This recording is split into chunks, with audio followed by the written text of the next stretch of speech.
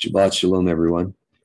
We are gathered together. I believe this is the first of the Gregorian first month, which is still the beginning of winter for us because we're on the 18th of the 10th month on our Creator's calendar.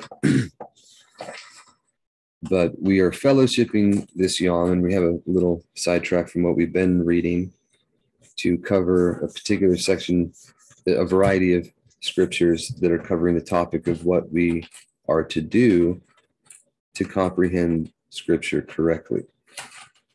So this is a post that was put together a while ago and it recently came up in my memories. so I wanted to share. This is comprehending the scriptures from the heart and mind of the author Yahuwah, no falsehood, no compromise. It says, but he, Mashiach, answering said, It has been written, man shall not live by bread alone, but by every word that comes from the mouth of Yahuwah. It's from Mattithyahu 4 4. Father's blueprint from his heart to our hearts for our hearts. It says, The grass shall wither, the flowers shall fade, but the word of our Elohim stands forever. The sum of your word is truth, and all your righteous right rulings are forever. And then you can see the nomenclature for those. So this was put together in 2016. It says this is a series of scriptures on who we should listen to, what we should do to learn truth, and the importance and reasons for staying in scripture and not other writings that are contrary. The first reference is from the Recognitions of Clement, book three, chapter 50, or I'm sorry, 62, Life of the Nazarene. This is yet Kepha said, Who is he that is earnest toward instruction, and that studiously inquires into every particular, except him who loves his own ruach to deliverance and renounces all the affairs of this world, that he may have leisure to attend to the word of Yahuwah only. Such is he whom alone Yahushua deems Hakam or wise even he who sells all that he has and buys the one true pearl, who comprehends what is the difference between temporal things and ageless, small and great, men and Yahuwah. For he comprehends what is the ageless hope in the presence of the true and Tob Yahuwah. But who is he that loves Yahuwah, save him who knows his chokmah or wisdom? And how can anyone obtain knowledge of Yahuwah's Chokmah unless he is constant in hearing his word? Whence it comes that he conceives a love for him and venerates him with worthy honor, pouring out hymns and prayers to him, and most pleasantly resting in these, accounting it his greatest damage if at any time he speak or do aught else, even for a moment of time because in reality, the Ruach that is filled with the love of Yahuwah can neither look upon anything except what pertains to Yahuwah, nor by reasons of the love of Him can be satisfied with meditating upon those things that it knows to be pleasing to Him. It, it says you can't be satisfied except with meditating upon those things that know that it knows to be pleasing to Him. Yet those who have not conceived affection for him, nor bear his love lighted up in their mind, are as it were placed in darkness and cannot see light. And therefore, even before they begin to learn anything of Yahuwah, they immediately faint as though worn out by labor. And filled with weariness, they are straightway hurried by their own peculiar habits to those words with which they are pleased for it is wearisome and annoying that such persons or to such persons to hear anything about Yahuwah, and that for the reason I have stated, because their mind has conceived no sweetness of El breed love. The next section is Philippians 4 4 through 13. It says, Rejoice in Yahuwah always. Again, I say, rejoice. Let your gentleness be known to all men. Yahuwah is near. Do not worry at all, but in everything by prayer and petition, with thanksgiving, let your requests be made known to Elohim. And the shalom of Elohim, which surpasses all comprehension, shall guard your hearts and minds through Mashiach Yahushua. For the rest, brothers, whatever is true, whatever is noble, whatever is righteous, whatever is clean, whatever is lovely, whatever is of Tob report, if there is any up any uprightness, and if there is any praise, think on these. And what you have learned and received and heard and saw in me, practice these, and the Elohim of Shalom shall be with you. Yet I rejoiced in Yahuwah greatly that now at last your concern for me has revived again, though you were concerned but had no chance. Not that I speak concerning need, for I have learned to be content in whatever state I am. I know what it is to be humbled, and I know what it is to have an excess. In any and every situation, I have learned both to be filled and to be hungry, both to have in excess and to be in need. I have strength to do all through Mashiach who empowers me. And the next is from Yahuda, actually, like you were saying earlier, brother. It's actually, I think this is the whole one, but Yahuda 1 1 through 25. Mm-hmm. says Yahuda, a servant of Yahushua Mashiach and brother of Yaakov, to those who are called Kadosh by Elohim the Father and preserved in Yahushua Mashiach. Compassion and shalom and love be increased to you. Beloved ones, making all haste to write to you concerning our common deliverance I felt the necessity, rather, sorry, I felt the necessity to write to you, urging you to earnestly contend for the belief which was once for all delivered to the set apart ones. For certain men have slipped in, whose arbitration or judgment was written about long ago.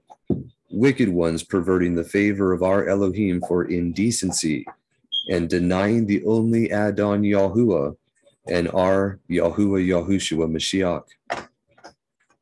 Yet I intend to remind you, though you once knew this, that Yahuwah, having delivered a people out of the land of Mitzrayim, afterward destroyed those who did not believe, and the messengers who did not keep their own principality, but left their own dwelling. He has kept in everlasting shackles under darkness for the judgment of the great day. And those would be the messengers that mated with women, 200 in all. They were buried in, in, in the ground with hard rocks over top of them, chained in darkness and shackled until they were going to be dug out and thrown into the lake of fire. Mm. And yeah, they have no forgiveness. There was no, there was no, no time in which they're not suffering until they are thrown in there because of what they chose to do. And it's because of this very thing, the horrific judgment against those messengers that should have known better, that had no forgiveness or chance for repentance, that no messengers will ever do that again because they know the reward in store for them. It, you know, uh, on that line, I, I was I've been you know reading through that, and um, so when uh, Lucifer, Satan, was cast out of Shamayim, he took with him a third of the other messengers, right? It says that yeah, a third of them fell with him onto the earth. So are those the messengers that went into this uh, the the the uh, the the, uh, the they found wives? I forget how they put it. I wanted you to say the right way. Are those the ones that did that? Not all of them, but that was a, a portion of them. The 200, right? The 200 watchers uh, did that, the, where they had to watch their their children, their the giants, destroy themselves. Um, right. Just for clarification, the watchers were sent by Yahuwah to be the judges of men, to teach men righteousness, as the sons of Adam were increasing on the earth. Right. They, of those, 200 of them chose to do what they did, but it wasn't all of them. and any messengers that turn from serving Yahuwah are under the authority of Satan. So that does answer. Are they your question. roaming the earth right now, these messengers?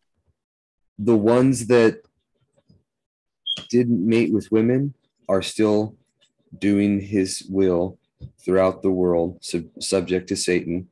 Yes. And this would be what they call the hierarchy for the occultic stuff. I'm not really into that, but the hierarchy is the the pagan mighty ones of old. You had the supreme mighty one, and then the lower levels, and this would be Satan and the lower level chief messengers or evil messengers, and then demons or their progeny. Yeah, the demons were supposedly, from what I was reading in Hanok, is that the demons are the ones that were basically the the Nephilim, when they when they all died off, whatever their it said that the the what was left was their spirit or their soul or the spirit, which were the uh, were the were named demons. So they're the ones left from the the combination of humans and and messengers together. That's what, from what I'm understanding in Han- Hanok. Men and messengers. Yes, I know you didn't do that on purpose, but they have that that connotation for human that means the natural man from scripture, right? Right. But the the messengers that mated with women, they had the massively large giants that were it says 2000 or 3000 elim Yeah, which is like 500 feet or 400 feet. no no no sorry it's 1.2 miles tall No, That- really, it's that. I thought it was. So, Yeah, Wow. That's why, yeah, that's why he puts it cryptically in a weird measurement like that because he didn't want to just straight say it. It, it seemed disbelievable to him. But you can get the confirmation for that in the Dead Sea Scrolls, in the Damascus document of, in the exhortation under the Damascus document, and also in Second Baruch. But in the exhortation, it says that the, the messenger's children, which were mountains high and tall as cedars, right? If you remember trees, they have evidence that trees were massively tall back then. So they were like. this- So they were. They were. Oh wow, wow. Those are Yeah. some pretty. That's Yes. where. Uh, that's where the uh, Titans, yes, Ti- the Greeks get the Titans from. So they weren't. They distorted it, but they weren't. They were basing it on reality. yes, and they were perverted with. Okay, so the- I'll, I'll give you that in just a moment. But the, the Titans, if you will, the largest of them, they had the next step down, and then they had the next step down, and it was once they ran out of being able to feed them, the Titans would eat the the next step down, and those ones would eat the giants, and the giants would eat themselves and men. So So you they had wiped. them- So they practically wiped themselves out, and, and Goliath was a leftover uh, of those those guys, I guess, right? yeah well that, that's after the flood is a, is a kind of a separate issue it has to do with witchcraft and what was carried over with uh, what corrupted dna potentially but i don't we don't have the evidence for that anywhere written so i don't want to speculate All right, cool. But i know witchcraft is involved with it. And that's a that, that's what we're going to get into with the recognitions as we read it. You'll you'll see that very clearly. But um these the whole story with the, the perversion of the, the Greek mythology, it was the original history of what happened that got twisted and perverted, exactly like you're thinking. And that's how you can have that. And they, they, you can even see today, they have some very compelling evidence about giants and things that were petrified into stone. I mean, you can look at the hair follicles in, inside the pore of a, of a man's arm and then there's pictures of those very things that people are walking through that are caves in the ground. Where they're walking by these massively large hair follicles that are curly and everything just like the pictures you see in an anatomy book and then there's some really compelling evidence of very large bodies that used to exist Uh, I'd love to check that out. Where, where, where's their, their resource? I would love to see the pictures of that. I'll try to find it. I know there's, if you look on YouTube, if they still have it, there's a gentleman that did called Mud Fossil Academy. And he, I don't know if he's a believer, but he shows evidence of massively large bones, structures, hands, feet, and actual living tissue that he's had tested that's come back as man's DNA from from things that were like there was a, a palm that was 36 inches across from a man that would have been almost 25 feet tall Wow. and it was petrified or it was it was made into solid rock he has a lot of that stuff that he's personally mud fossils is what he calls it. Mud fossil academy is the youtube channel. I can't say I, I agree with everything. I haven't watched all his videos but he actually had the stuff genetically tested and shows that it's man's dna in these things that are massively large finger digits that are bigger than his head. Do they have evidence of giants being a mile tall? Some of the pictures from these things are like mountains and things like that yeah Wow. You- You'll see. Now we we don't have as much as we could have. It's been a very long time, but you you can see there's very compelling evidence for these things that were actually real. One of the biggest ones is Greek mythology. The fact that these things were carried down. When you read Alexander Hislop's Two Babylons, and you ties in how all of the mystery religions were teaching the history of creation in a perverted sense, it, it makes more sense that way as well because the Greeks carried that. The Hebrews leaving Mitzrayim carried the mystery religion from Egypt that came out of Babylon with them when they were planting things. I don't know all the history behind it. I haven't had the chance or pleasure to study that out in depth, but it's possible that Mahol, it's it, it's I read somewhere or I've heard from someone that Mahol, who was known as the first Scythian or dweller in tents and sojourner, if you will, who was also known as the um, Phoenicia Farsa, who founded Phoenicia, right? His children founded different city states in Greece and other places, Spain, and eventually Ireland, where they were the leaders over the, the, the children that were migrating to those places because the leader was coming from the seed of Yahuda, if you recall. But back on point, Mahol had went and founded universities in Babylon where he learned from them and he went and taught those things where he went, they said. And that's how they started this errant worship. But the Greeks were in a sorry state. The original sons of Japheth were in a sorry state when the Hebrews were founding city states in their area. The kingdom of Attica, Athens, Thebes, eventually Sparta, the Lacedaemonian kingdom, which where the Corinthians were eventually. These are all Hebrew peoples that were founding city states there, and they intermixed with them and became the Greeks that carried down in history. I'm getting sidetracked there. Sorry. Point is to get back on track. The messengers that mated with women, they were judged and punished immediately.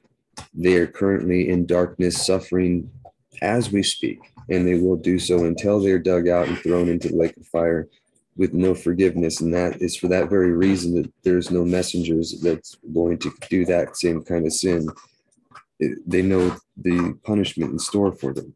It would be even worse for them because they already see the effects of that kind of thing. But to continue, it says, even in Sodom and Gomorrah and the cities around them in a similar way to these, having given themselves over to harlotry and gone after strange flesh, are set forth as an example, undergoing arbitrational or judgmental punishment of everlasting fire.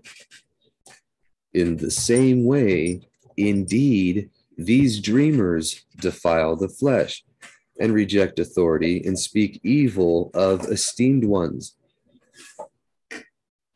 That's something that we should be very, very careful to do. Anyone who's been esteemed to be a martyr, anyone who's spoken of well by the, the standards in the word, we don't want to be speaking evil of because we will be putting ourselves in the condition of being these people. But Michael, the chief messenger, in, contend- in contending with the devil, when he disputed about the body of Moshe, presumed not to bring against him a blasphemous accusation, but said, Yahuwah rebuke you. Yet these blaspheme that which they do not know, and that which they know naturally, like unreasoning beasts. In these they corrupt themselves. Woe to them, because they have gone the way of Cain, or in the way of Cain, who killed his brother through jealousy, and gave themselves up to the delusion of Balaam for a reward. Balaam means not of the people.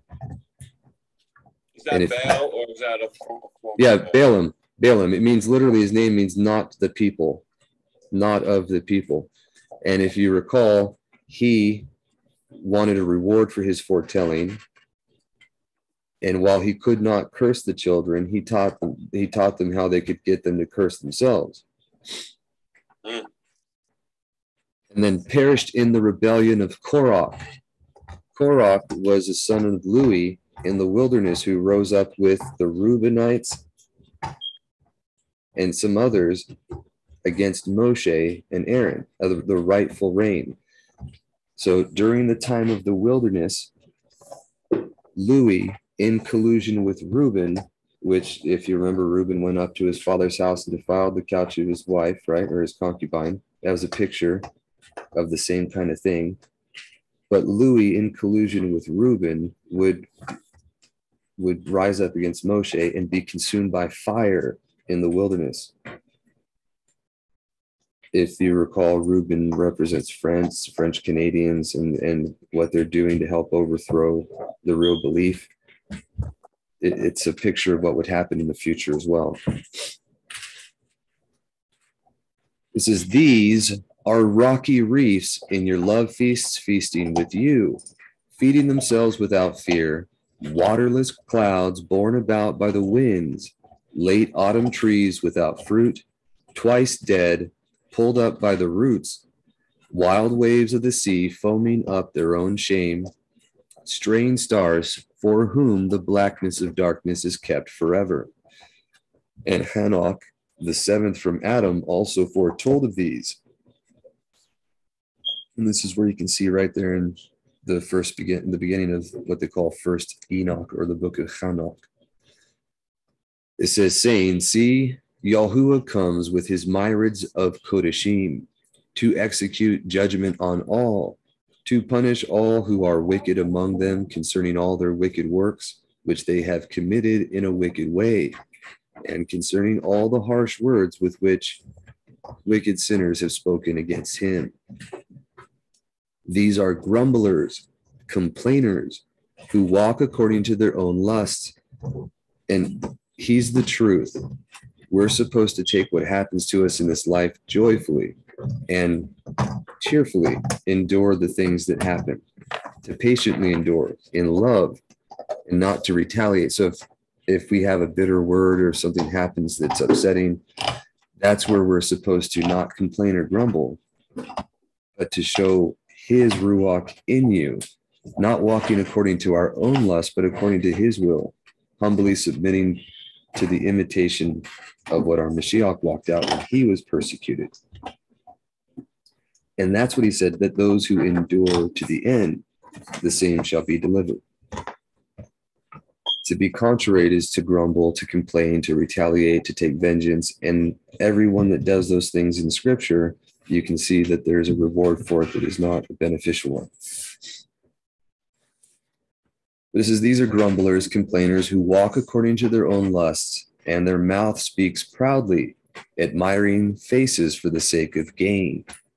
But you, beloved ones, remember the words spoken by the emissaries of our Yahuwah Yahushua Mashiach, because they told you that there would be mockers in the last time who would walk according to their own wicked lusts. These are the ones who cause divisions, not having the Ruach. Yet you, beloved ones, building yourselves up on your most set apart belief, praying in the set apart Ruach, keep yourselves in the love of Elohim, looking for the compassion of our Yahuwah Yahushua Mashiach unto everlasting life, and show compassion towards some who are doubting, but others deliver with fear, snatching them out of the fire, hating even the garment defiled by the flesh. and to him who is able to keep you from stumbling, and to present you perfect before the presence of his esteem with exceeding joy, to the only Hakam or wise Elohim, our deliverer, be esteem and greatness and might and authority, both now and forever. Amen. The next section here is from the recognitions of Clement. I don't have the book on hand here, but this is from chapter 34. This is the temptation of Mashiach. This is this we would have you know assuredly that a demon has no power against a man unless one voluntarily submit to himself to his desires, meaning they have no authority over you unless you put yourself under their jurisdiction. Sounds When- like court. What's that? Or the tribunals that we have in our country. Right. If you put yourself under their jurisdiction, then you're under the authority. Otherwise, they have none. I mean, It says, Whence even that one who is the prince of immorality approached him who, as we have said, is appointed of Yahuwah, sovereign of Shalom, tempting him, and began to promise him all the kabod or steam of the world, because he knew that when he had offered this to others for the sake of deceiving them, they had worshipped him. Therefore, disobedient as he was and unmindful of himself, which indeed is the special peculiarity of immorality. He presumed that he should be worshipped by him by whom he knew that he was to be destroyed. Therefore, our master, confirming the worship of one Yahuwah, answered him, It is written, You shall worship Yahuwah your Elohim, and him only will you serve.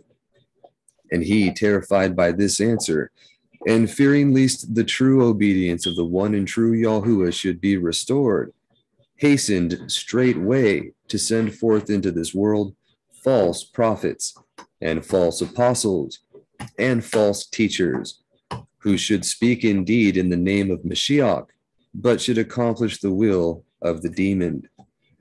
So observe the greatest caution that you believe no teacher unless he bring from Yerushalayim the testimonial of Yaakov, Yahushua's brother, or of whosoever may come after him.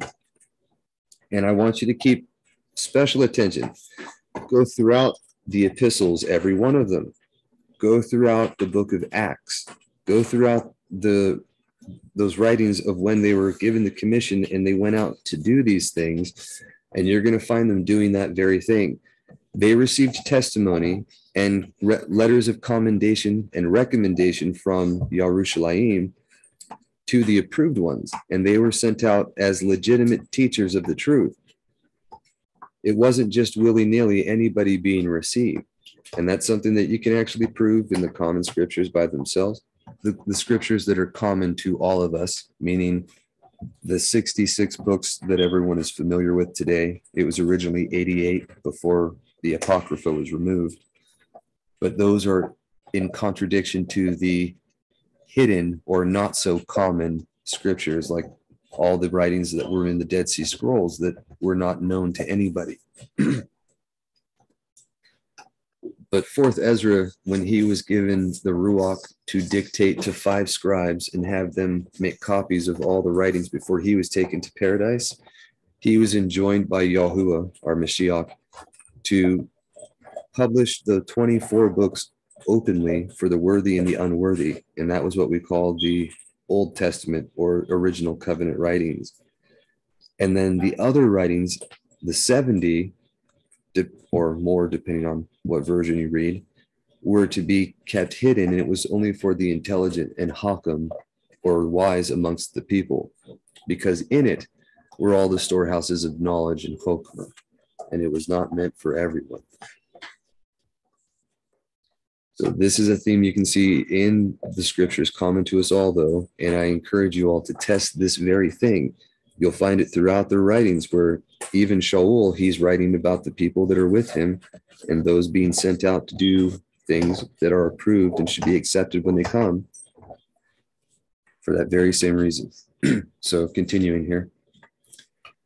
It says, For no one, unless he has gone up thither, and there has been approved as a fit and trustworthy teacher for preaching the word of Mashiach, unless I say he brings a testimonial thence, is by any means to be received. But let neither foreteller nor sent one be looked for by you at this time besides us. For there is one true foreteller, whose words we twelve sent ones preach. For he is the accepted year of Yahuwah, having us sent ones as his twelve months. But for what reason the world itself was made, or what diversities have occurred in it, and why our master coming for its restoration has chosen and sent us 12 sent ones will be explained more at length at another time. Meantime, he has commanded us to go forth to preach and to invite you to the supper of the Shamayim sovereign, which the Father has prepared for the marriage of his Son, and that we should give you wedding garments, that is, the favor of immersion which whosoever obtains as a spotless robe with which he is to enter to the supper of the sovereign ought to beware that it be not in any part of it stained with sin, and so he be rejected as unworthy and reprobate. Yet the ways in which this garment may be spotted are these. And this is something that's important for everybody. If you're a believer that's been immersed already in the name of Yahuwah, Yahushua, Mashiach, unto deliverance for everlasting life and to be sealed with his ruach, then these are things that can cause you to fatally lose your anointing, meaning that after being receiving of it, you can lose it. This is yet the ways in which this garment may be spotted are these. If anyone withdraw from Yahuwah the Father and Creator of all, receiving another teacher besides Mashiach, who is the word of Elohim, who alone is the trustworthy and true foreteller, and who has sent us 12 sent ones to preach the word. If anyone think otherwise than worthily of the substance of Yahuwah, which excels all things. These are the things that even fatally pollute the armor of immersion but the things that pollute it in actions are these murders, adulteries, hatreds, avarice, which is greed, and evil ambition. And the things that pollute at once the ruach and the body are these to partake of the table of demons, that is, to taste things sacrificed, or blood, or a carcass that is strangled, and if there be aught else that has been offered to demons. Be this, therefore, the first step to you of three, which brings forth 30 commands, and the second 60, and the third 100, as we will expound more fully to you at another time. Meaning that if you do the first steps here, it really covers a whole bunch more of commands that are given throughout Scripture that, that reiterate the same topics. This is also from the recognitions. It is the interpretation of scripture. It says, Then Kepha, commending his statement, said, Ingenious men, as I perceive, take many or take many counterfeits looking much like truth from the things that they read, and therefore great care is to be taken that when the Torah of Elohim is read, it be not read according to the comprehension of our own mind. And this is something that I actually talk to my children quite a bit about too. It's not just when it's the Torah, but if you're reading anything that isn't Torah, we should never take that and consider it to be valid for anything truthful until you've lined it up with what is in his word because the Torah is the truth and the truth is the foundation upon which we have to stand. So everything has to be held to the standard of what's written in his word. This is for there are many sayings in the set apart scriptures that can be drawn to that sense that everyone has preconceived for himself. And this ought not to be done. For you ought not to seek a foreign and extraneous sense, which you have brought from without, which you may confirm from the authority of the scriptures. And this is what they call soundbite theology. You have a topic or a point of view, and then you prove it using a verse here and a verse there to confirm an opinion, but it's not something that's actually taught in the scriptures itself. This is but to take the sense of truth from the scriptures themselves. Wait, wait, wait Richard, stop there for a second. I want to just meditate on that. For, for you ought not to seek a foreign and extraneous, extraneous sense Ex- which you have. Mm-hmm. Extraneous sense, yeah. Extra, yeah, extra, extraneous sense which you have brought with, from without, which you may confirm from authority of the scriptures, but to take the sense of truth from scriptures themselves. So what do you say? I mean, like a lot of times what we do is we will go to historic events and how and see how it lines up. Like for example, like we know that the history of the Roman Holy the, the Holy Roman Empire, how it how it's just continually just destroying any anybody that's not Catholic. And then we could take scripture and, you know, like revelations and we could see how that lines up with that. You know, that there's nothing wrong with that, right? It's Right. No, see, th- that's the whole thing. We should do nothing and take nothing from the scriptures that you can't prove is taught from it. Or uh, right here is what, or the sense is, because look, it's going to tell you. But to take the sense of the truth from the scriptures themselves, and therefore it behooves you to learn the meaning of the scriptures from him who keeps it according to the truth handed down to him from his fathers, so that he can authoritatively declare what he has rightly received. And the example we'll see later in a little bit here too. Moshe was given the truth, and then he gave that truth to the elders and the chiefs of the people that came to him. And then they all collectively were to teach the people. But they were only to hand they were only to give to the people what they had received from Moshe, and Moshe only gave to them what he had received from our Mashiach. And Mashiach only gave to Moshe what he had received from the Father. So it was a continual pattern in that same sense. right. In that very same pattern, he established the Father sent our Mashiach in the flesh. The Mashiach anointed his 12, the 12 chose, uh, and then he sent out his taught ones right? The, the the group of them, but not all stayed with it. Some fell away. That also has to do with the constellations and the different stars and stuff. But that's getting digression. The point is, when they were anointed and all came together of one mind, there was about 120 of them. So of those 120, 12 were the emissaries. The rest were teachers or other forms of of ministers given the ruach in different capacities but they would have been like the our Mashiach and then the 12 and then the 72 in the same picture. Right? Right.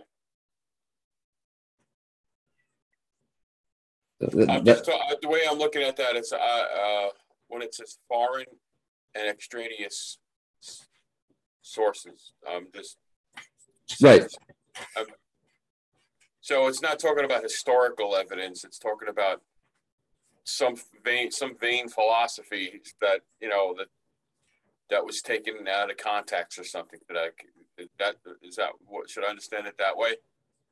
right. This is here's a good example.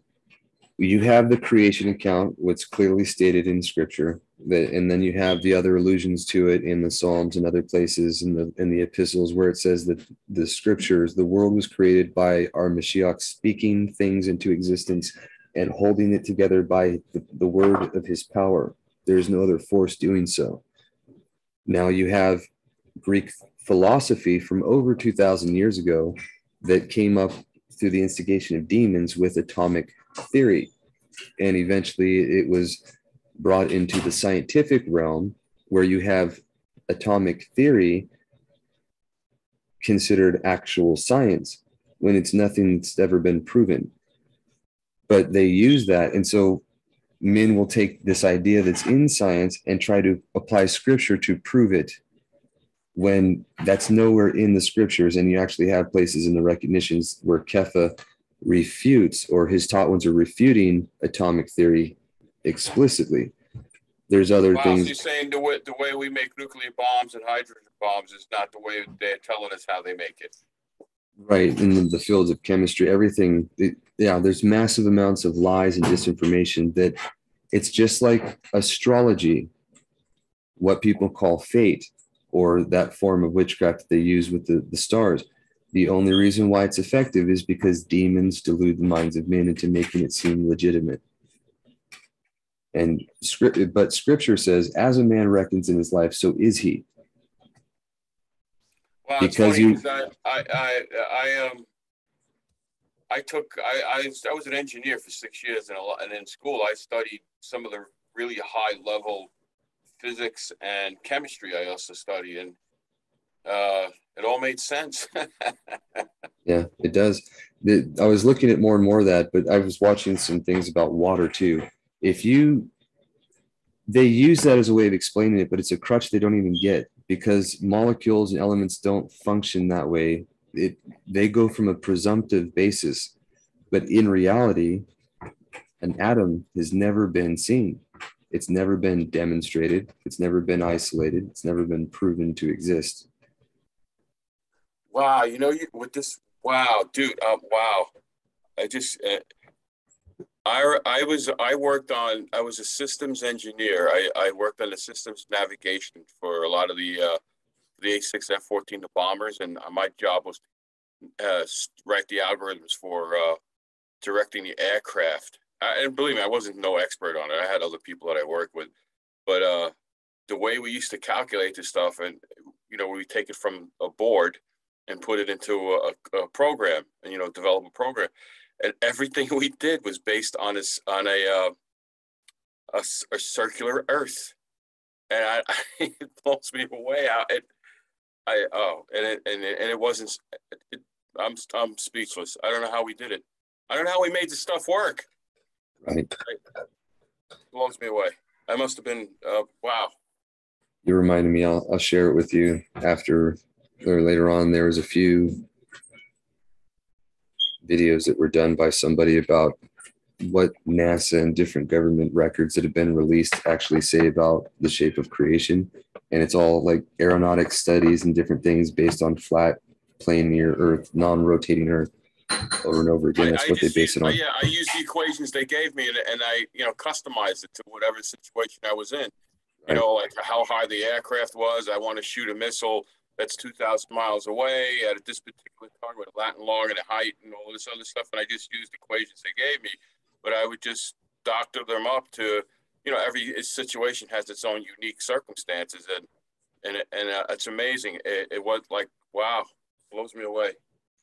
I, I like how, how do we make it work? I don't know. you, you got to keep in mind the math works for the heliocentric theory too the theory of relativity the math that einstein put together the computations functioned but it was still telling a lie and something that isn't real it was just a way to compute it to make the math work It- Yeah, I saw that with Einstein too. In uh, one of the one of the vids, they they said that no one ever really understood his theory of relativity. No one, not the highest brains didn't. They were like, they said like, just accept it. That it, it works. Don't worry about it. You know, don't worry about the details.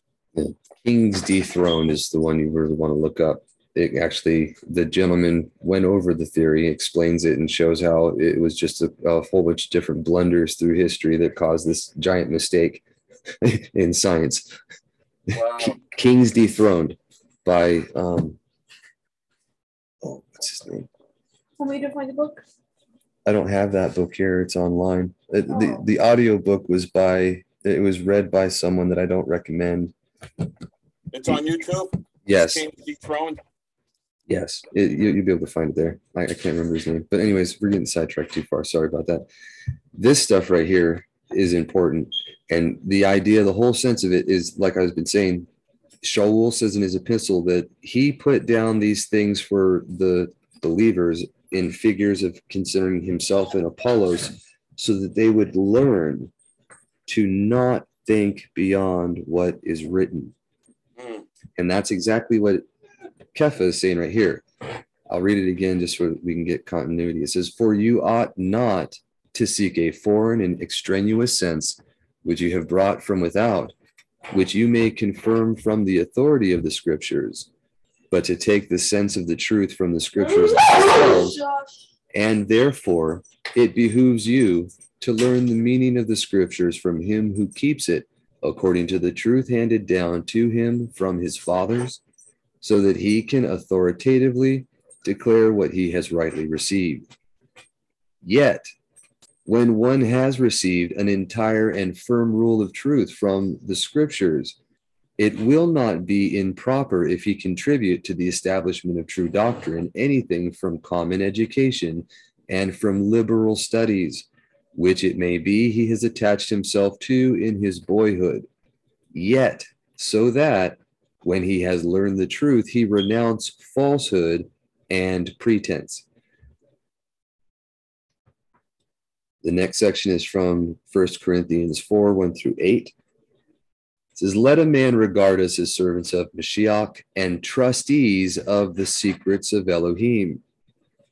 For the rest, it is sought in trustees that those should be found trustworthy. But with Trustees a future fiduciary responsibility. that, absolutely. And who's the beneficiaries of the trust? We are. the people.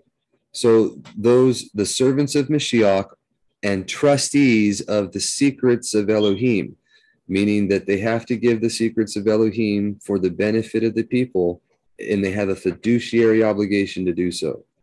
Awesome. However, they're enjoined not to throw their pearls before men acting like dogs and swine. So they, they have a fiduciary obligation to our Mashiach's rules as the trustees. Awesome. Does that make sense? Oh, yeah, yeah. Okay, you can carry that over for their trust laws and how they're supposed to be for our benefit as well. It, it, it is the same because this is common law trust issues right here. Excellent. This is for the rest, it is sought in trustees that those should be found trustworthy. But with me, it is a small matter that I should be judged by you or by a man's court. But not even myself I judge, for I am not conscious of any against myself. Yet I am not declared right by this, but he who judges me is Yahuwah. So do not judge any at all before the time, until Yahuwah comes, who shall bring to light what is hidden in darkness and reveal, reveal the thoughts of the hearts. And then each one's praise shall come from Elohim. And these, brothers, I have applied in a figure to myself and Apollos for your sakes, so that in us you might learn not to think beyond what is written, so that none of you be puffed up on behalf of one against the other. For who makes you to differ? And what do you have that you did not receive? And if you did indeed receive it, why do you boast as if you had not received it? You are already satisfied. You are already enriched. You have reigned as sovereigns apart from us, and I desire indeed you did reign, that we also might reign with you. This is from Second Kepha, chapter 1, 17 through 21. It says, For when he received respect and esteem from Elohim the Father, such a voice came to him from the excellent esteem This is my Son, the beloved, in whom I did delight. And that is an allusion to Proverbs 8. And we heard this voice which came from Shamayim when we were with him on the set apart mountain.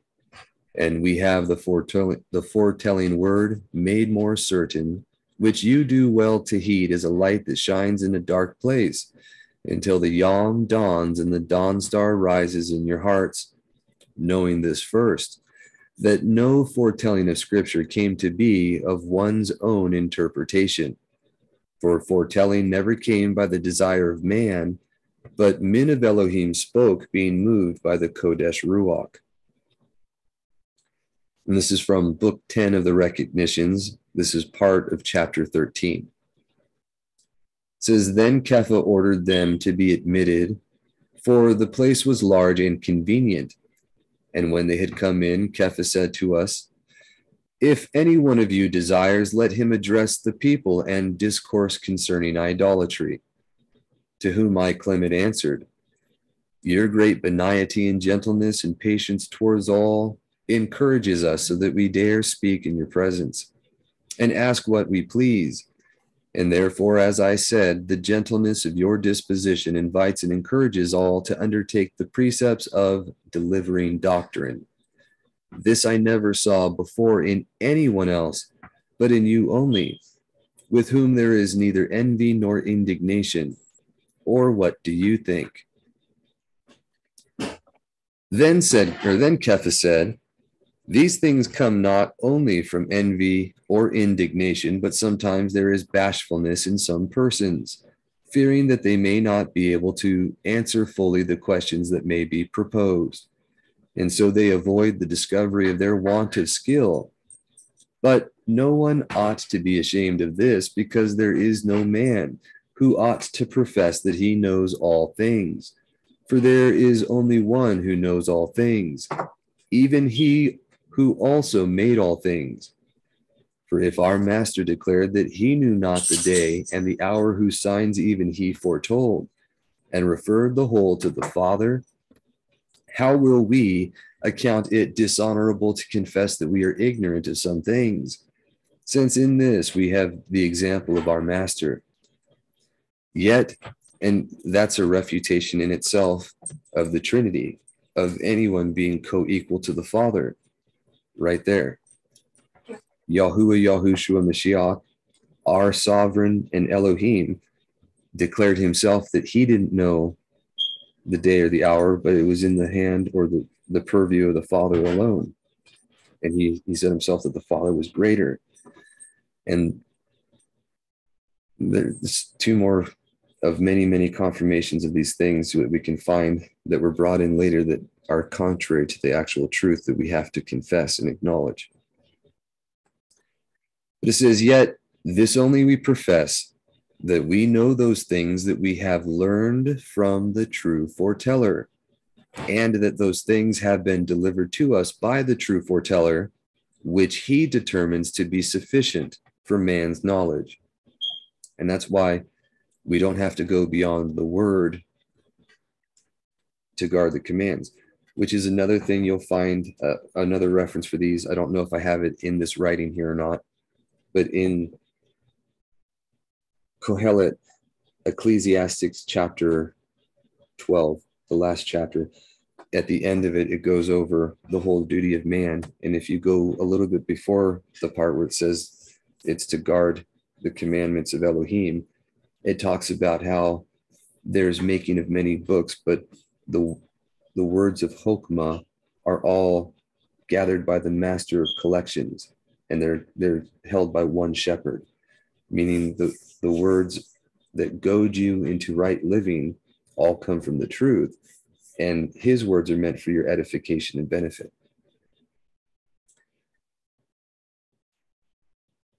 But to continue, it says, Then I, Clement, went on to speak thus at Tripolis when you were disputing against the nations, my master Kepha. I greatly wondered at you that although you were instructed by your father according to the fashion of the Hebrews and in observances of your own Torah, and were never polluted by the studies of Greek learning, you argued so magnificently and so incomparably and that you even touched upon some things concerning the histories of the false mighty ones, which are usually declaimed in the theaters. But as, but as I perceived that their fables and blasphemies were not so well known to you, I will discourse upon these in your hearing, repeating them from the very beginning, if it pleases you. Did you have something to say, real quick? No. Okay. Then says Kepha, Say on, you do well to assist my preaching. Then I said, I will speak, therefore, because you order me, not by way of teaching you, but of making public what foolish opinions the nations entertain of the false mighty ones. Yet, when I was about to speak, Niceta, biting his lip, beckoned to me to be silent. And when Cephas saw him, he said, Why would you repress the, his liberal disposition and noble nature, that you would have him be silent for my honor, which is nothing? Or do you not know that if all tribes, after they have heard from me the preaching of the truth and have believed, would betake themselves to teaching, they would gain the greater esteem for me, if indeed you think me desirous of esteem. For what so esteemed, or what is so esteemed as to prepare taught ones for Mashiach, not who will be silent and will be delivered alone, but who will speak what they have learned and will do good to others. I desire indeed that both you, Niceta, and you, beloved Aquila, would aid me in preaching the word of Elohim, and the rather because those things in which the nations err are well known to you, and not only, or and not you only, but all who hear me, I desire, as I have said, so to hear and to learn, that they may be able also to teach. For the world needs many helpers, by whom men may be recalled from error. When he had spoken thus, he said to me, Go on then, Clement, with what you have begun. And then this is a different chapter later on. It is A trustworthy saying and worthy of all accept, acceptation. Yet, if anyone desires to learn exactly the truth of our preaching, let him come to hear. Let him ascertain what the true foreteller Yahushua is, and then at length all doubtfulness will cease to him. Unless with obstinate mind he resists those things that he finds to be true. For there are some whose only object it is to gain the victory in any way whatever, and who seek praise for this rather than their deliverance.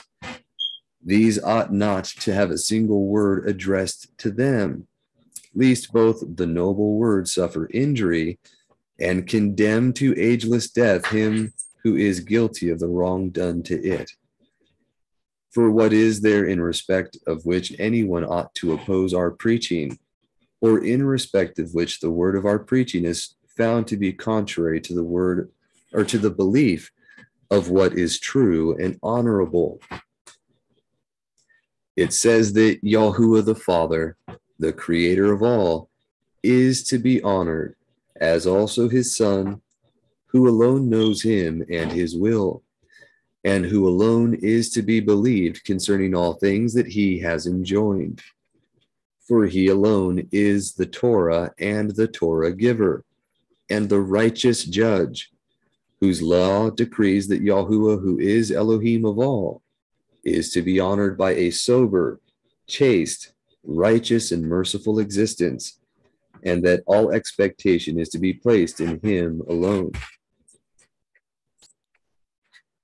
Second Timothy, or sorry, Second Timothy three, chapter or verses one through seventeen. it says, "Yet know this, that in the last days, or Yamim, hard times shall come." For men shall be lovers of self, lovers of silver, boasters, proud, blasphemers, disobedient to parents, thankless, wrongdoers, unloving, unforgiving, slanderers, without self control, fierce, haters of good, betrayers, reckless, puffed up lovers of pleasure rather than lovers of Elohim, having a form of reverence or fear, but denying its power, and turn away from these. For among them are those who creep into households and captivate silly women loaded down with sins, led away by various lusts, always learning and never able to come to the knowledge of the truth. And as Yochanan and Mamre opposed Moshe, those are the two magicians that were in Mitzrayim or Egypt, if you will. Yeah.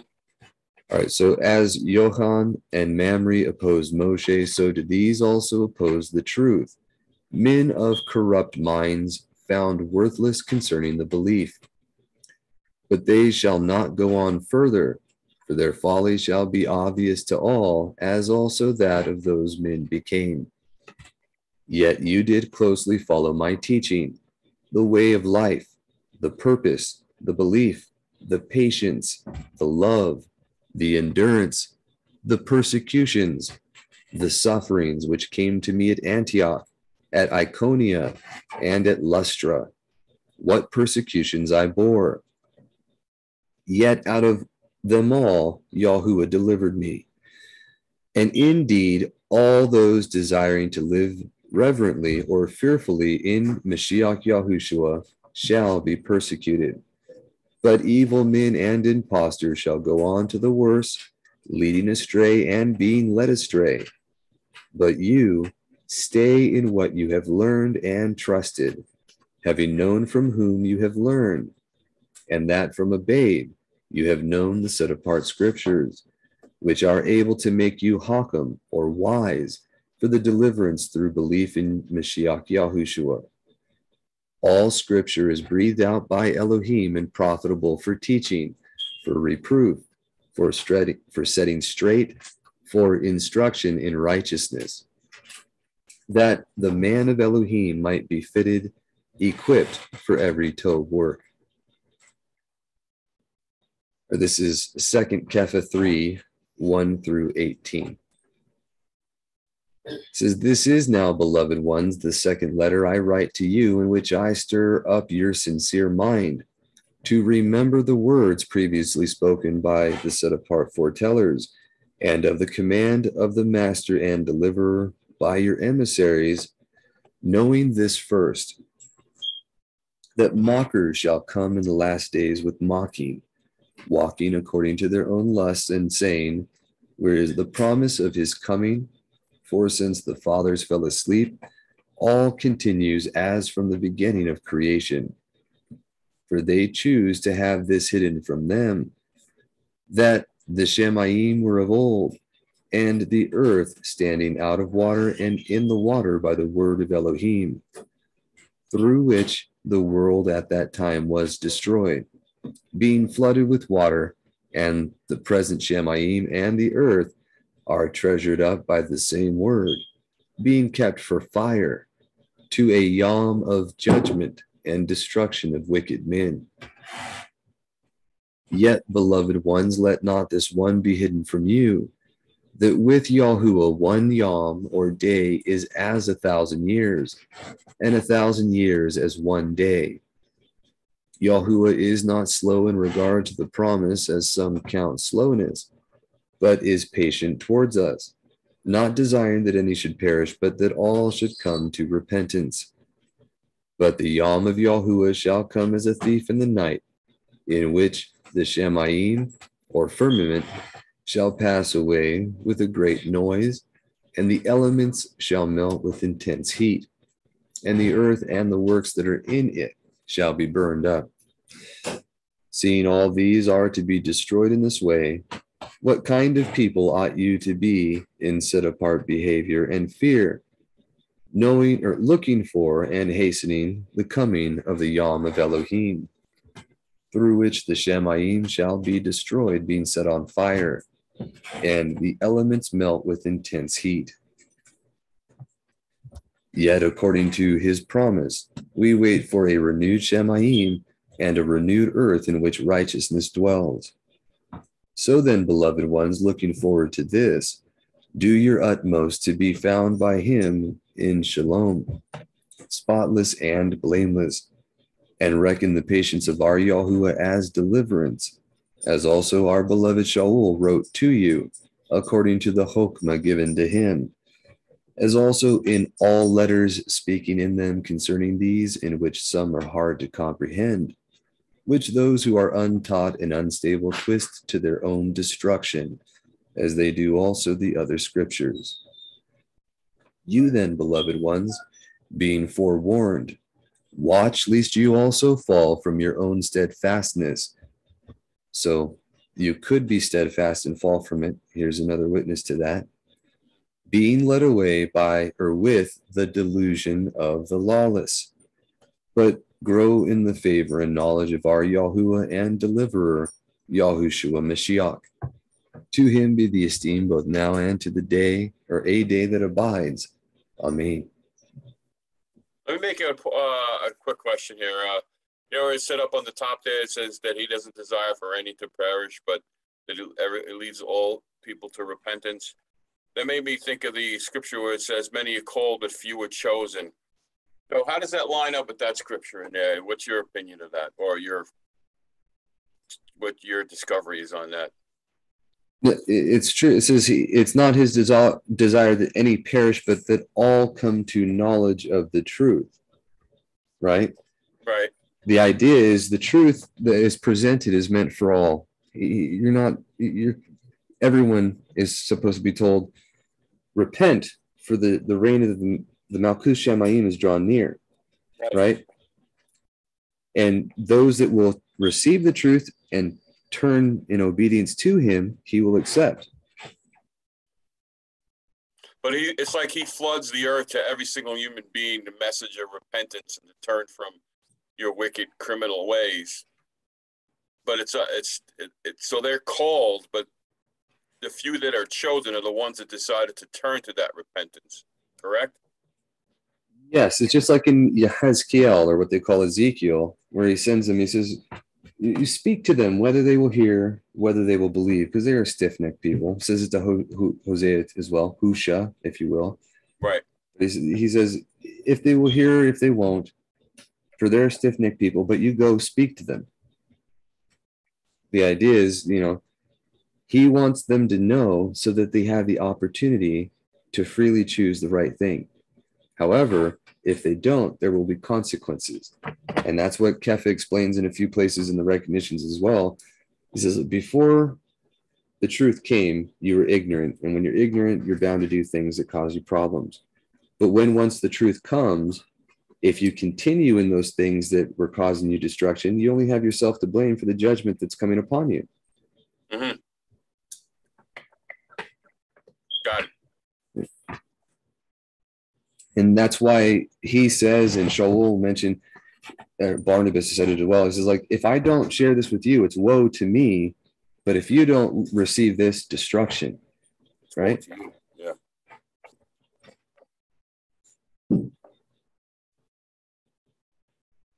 Right, it says, you then, beloved ones, being forewarned, watch lest you also fall from your own steadfastness. Being, I already read that one. I'm sorry right here, Colossians, this is chapter 1, 9 through 29.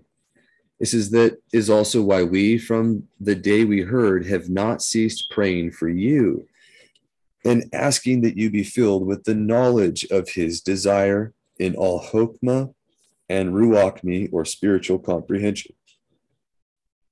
Excuse me, to walk worthily of Yahuwah, pleasing all bearing fruit in every tov work and increasing in the knowledge of Elohim, being empowered with all power, according to the might of his esteem, for all endurance and patience with joy, giving thanks to the Father who has made us fit to share in the inheritance of the Kodashim in the light, who has delivered us from the authority of darkness and transferred us into the reign of the Son of his love in whom we have redemption through his blood, the forgiveness of sins, who is the likeness of the invisible Elohim, the firstborn of all creation. Because in him were created all that are in the Shemayim and that are on earth, visible and invisible, whether thrones or rulerships or principalities or authorities, all have been created through him and for him and he is before all, and in him all hold together. And he is the head of the body, the assembly, who who is the beginning, the firstborn from the dead, that he might become the one who is first in all.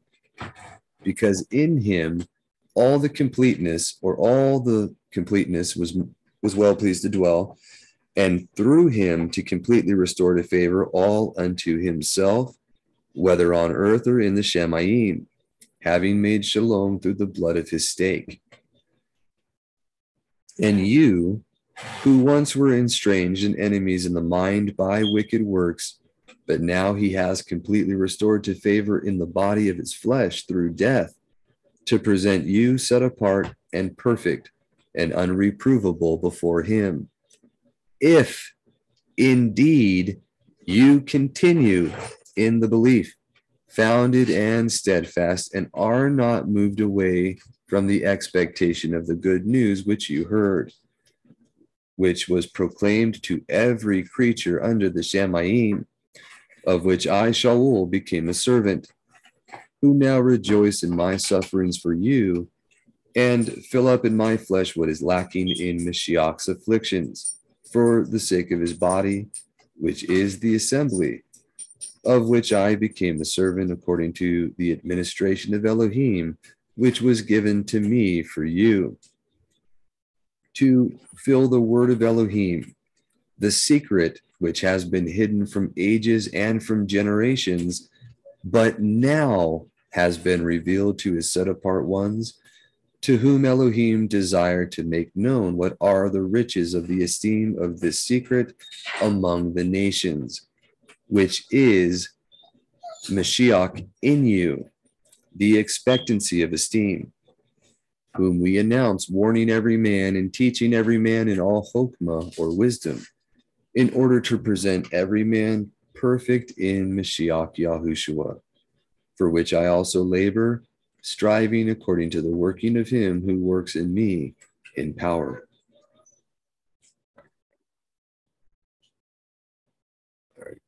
we have just a moment. So we'll, we'll, do a few more and then we'll we'll pause this and we'll finish it up next time. But it says this is from First Corinthians chapter 2, 1 through 16. And again, the whole purpose of this is who we should listen to, how we should determine what is true as per the word. That, that's the whole theme here. It says, And when I came to you, brothers, I did not come with excellence of speech or wisdom, proclaiming to you the witness of Elohim.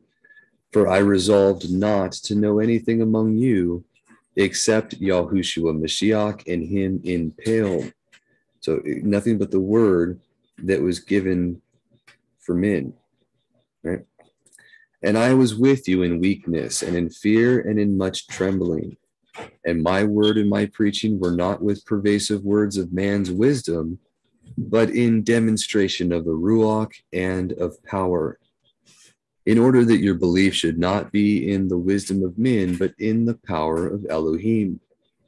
Yet we speak chokmah among those who are perfect, and not the wisdom of this age, nor of the rulers of this age that are being brought to naught but we speak the Chokmah of Elohim, which was hidden in a secret, and which Elohim ordained before the ages for our esteem, which no one of the rulers of this age knew. For if they had known, they would not have impaled Yahuwah Kabod, or Yahuwah of esteem, which is a title for our Mashiach. On you can find this on Exodus chapter 20 where it's Yahuwah Kabod who appeared in the top of the mountain that was burning with fire. And that is our Mashiach. He's also alluded to in a few other places, Yehezkiel or Ezekiel as Yahuwah Kabod, if I recall correctly. But you see it more in the in the Hebrew. Otherwise, it'll say Yahuwah of esteem, or it will say the esteem of Yahuwah. But in the Hebrew, it says Yahuwah Kabod. for reference there, if you're not familiar with Hebrew, it's backwards from English. So you have your predicate, and your your verbs and your ad, adjectives that would precede a noun would actually go after it in Hebrew. and the ones that go after it in English would go before it in Hebrew. So it's kind of a backwards thing when you're translating. If you're familiar with the fact that English used to be Hebrew and they started speaking it backwards, kind of, it kind of, it got messed up that way. It makes sense why that happened. It is still similar. It functions in the exact same format in the Celtic languages still, or Gaelic, if you will. The Highlander Scotland, which came from what we call the Caledonians, the Welsh, the Irish, they all have different dialects of broken Hebrew that were influenced in different ways, but they generally keep the same syntax structure and form of the Hebrew. It's just a it's a sound difference, but it's a word for word, same form and, and the sentence structure and everything. In particular, with the Irish and the Highlander Gaelic, by the way. The Welsh had more of an Assyrian influence in their syntax structure when they migrated and were taken into captivity, and they carry that with them. That's why it's a little different. But they can use the Welsh language to read the hieroglyphs because of that. It, it's an interesting connection there. If you want more on that, there was a general. There's two gentlemen, Wilson and Blackett, I believe, and they wrote a wealth of books on the topic that are reprinted by a gentleman today. One of them is called Moses in the Hieroglyphs, and another one is the the Cymry, the Cymry. Oh, I can't remember. I have to. It's something to do with the language, but it has to do with reading the hieroglyphs using the Welsh language sentence structure. It's pretty interesting. I haven't really gotten into it very much. It's not my area of expertise. But moving on, it says, they would not have impelled Yahuwah of esteem, or, but as it has been written, eye has not seen and ear has not heard, nor have entered into the heart of man what Elohim has prepared for those who love him. Yet Elohim has revealed them to us through his Ruach. For the Ruach searches all, even the depths of Elohim. For who among men knows the thoughts of a man except the Ruach of the man that is in him? So also the thoughts of Elohim no one has known except the Ruach of Elohim. And we have received not the Ruach of the world, but the Ruach that is from Elohim, in order to know what Elohim has favorably given us, which we also speak not in words which man's wisdom teaches, but which the Kodesh Ruach teaches, comparing Ruachni with Ruachni, or spiritual with spiritual. Yet the natural man does not receive that of the Ruach of Elohim.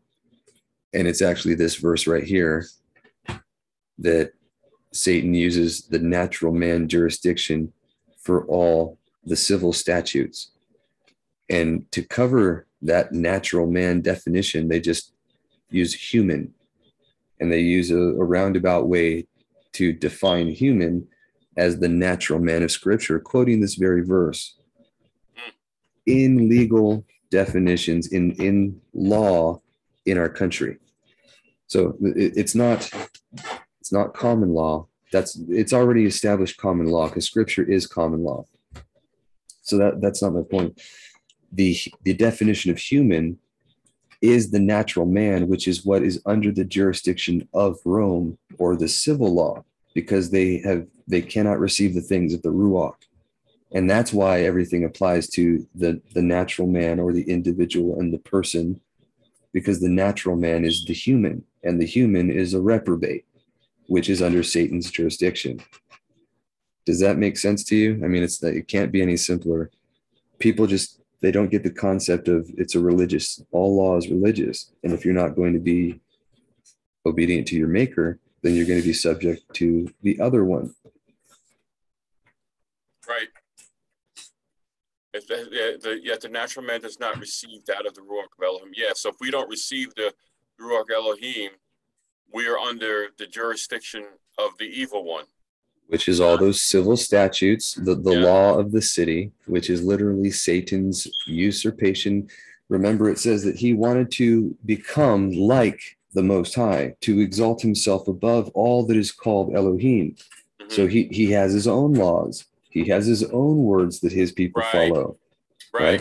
right? yeah, that makes sense. That yeah, now that yeah, it, that's really clarified that. Wow, there's two systems. It's Elohim's system and and uh and Satan's system, and it's up to us who we choose to be under.